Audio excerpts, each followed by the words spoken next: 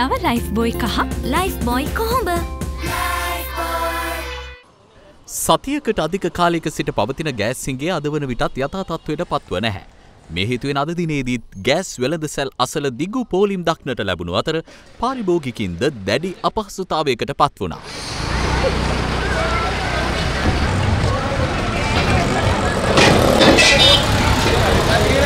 බලන්නකො කඩෙන් මේ කෑමයක් කන්න වෙලා තියෙන්නේ උදේ මේ ගෙදර ගෑස් ඉවරුණා ගෑස් ඇවිල්ලා තියලා කිව්වට ගෑස් නැහැ. මේ උදේ ඉඳලම මෙතන අපි දුක් විඳිනවා. ගෑස් නෑ රට කාලා යාපාලනේ වාපාලනේ වෙලා පොලිම ඉන්න 50කට වැඩිය. ගෑස් 40 දෙන්නේ. ගෑස් පොලිමයි තෙල් පොලිමයි හෙට අනිත් වෙනකොට තාම මොන පොලින් එයිද දන්නේ.